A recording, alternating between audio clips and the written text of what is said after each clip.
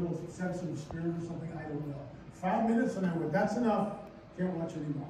And I'd run back to it an hour later, okay, watch another part. Oh my gosh, look at that. So again, what we did is we came up with some instruments and we've evolved over the past three years. In the beginning, it was very rudimentary, um, you know, maybe just a little cardboard box with some stuff inside of it. We've more and more sophisticated as we learned. And that's actually a very important distinction. We need to go up there and you get more of the spectrum than just the infrared spectrum or the optical spectrum. We need to actually get more of the spectrum because there might be information there that we're just not seeing.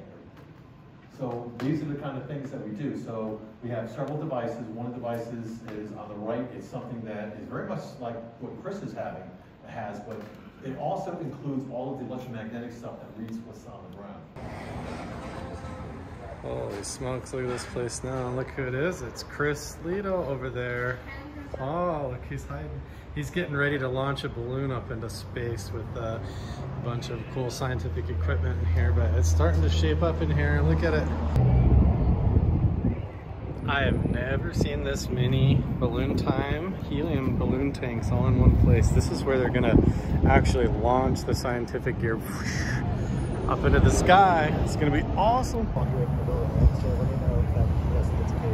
Here it is, officially inflating the weather balloon. This is amazing. It's a little bit stressful. We got all this helium here.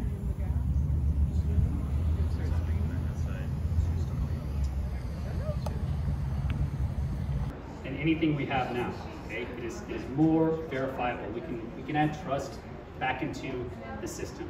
Okay, so UAP Society, like a rocket, I like it. Yep. Um, and I've, I've thought about helium. You know, this gas will be going up into space and then expanding.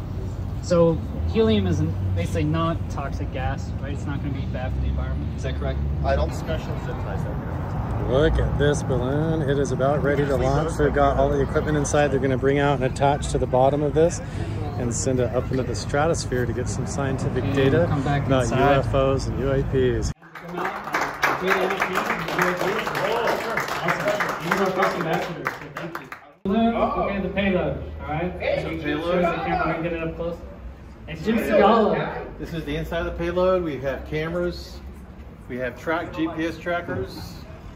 We have Oh, Chris, we can't hear. Cameras. Okay, sorry, here you go. Mic there. Uh, we have batteries, we have instrumentation that's inside that's going to be recording the entire flight.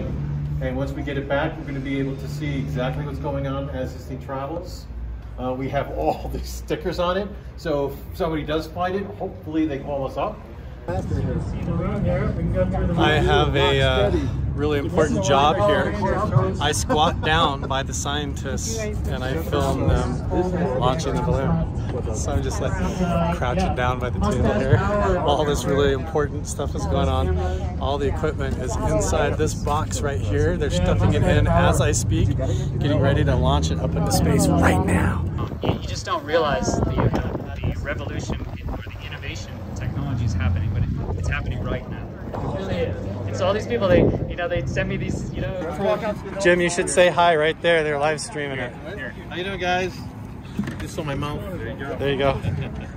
I think he got it. He was worried that they just sealed everything up.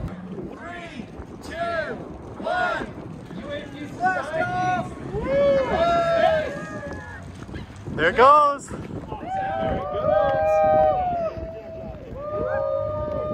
It's working. Holy smokes. That is cool. It's going way up there. Wow. So cool. It's Going way fast. That's very cool. There's a new sheriff in town. Look at it. Look at that. Is that freaking wild? Is that cool or what? It hit us oh straight. Jim, Oh, I'm sorry. congrats. High five. Oh, I'm Oh, filming you. I thought, I thought you were yelling High at me five. for swearing. No, no, no. I'm catching the moment. Chris, congrats.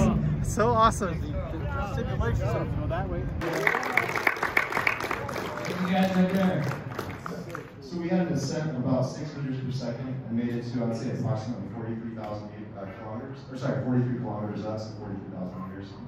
Um, the descent was much quicker, um, but luckily, you know, our GPS unit survived and we were able to find it in the middle of the mountains. at the same time that this went up in the air.